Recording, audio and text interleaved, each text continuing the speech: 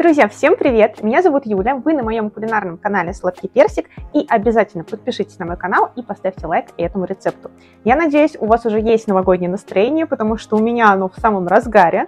Посмотрите, даже Джеймпер сегодня надела новогодний. И сегодня мы с вами его еще больше поднимем, потому что мы будем готовить какао. Но какао у нас будет не совсем обычное, а со сгущенным молоком.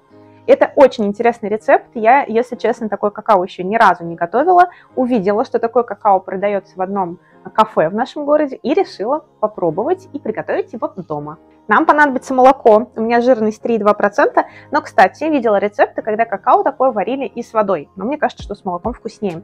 Самое обычное какао, которое нужно варить, не быстро растворимое. Я его просто пересыпала в банку.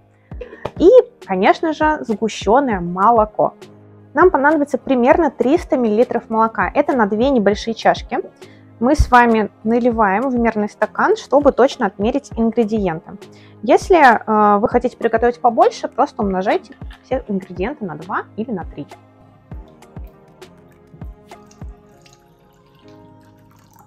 Мы с вами перелили молоко в ковшик. Теперь ставим его на плиту и доводим до кипения.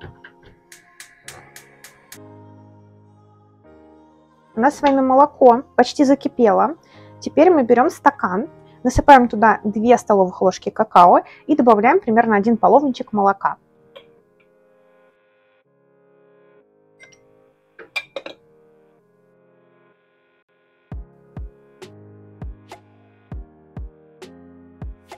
Теперь берем вилочку и размешиваем какао. Это важно сделать сейчас, потому что если мы просто высыпем какао в ковшик, его будет очень тяжело размешать так, чтобы в нем не было комочков.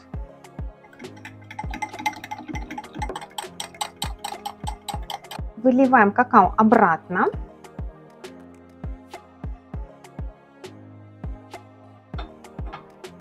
Перемешиваем. И еще раз наливаем молоко, чтобы все какао у нас вылилось в ковшик обратно. Теперь пришло время сгущенки. Мы ее открываем и добавляем в какао примерно 2, если любите послаще, можно 3 столовых ложки.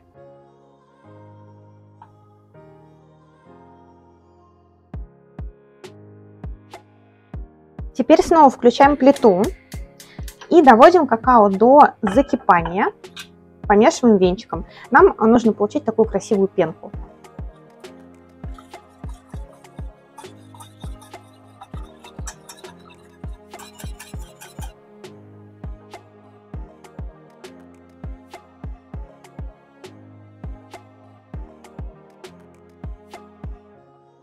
Вот такой красивый какао у нас получилось. Я в него еще добавила маршмеллоу. Я все время их покупаю, не зимой у меня практически всегда есть. Храню вот в таком вот контейнере. Они придают какую-то воздушность любым напиткам, не только какао. Давайте попробуем. М-м. Это очень вкусно.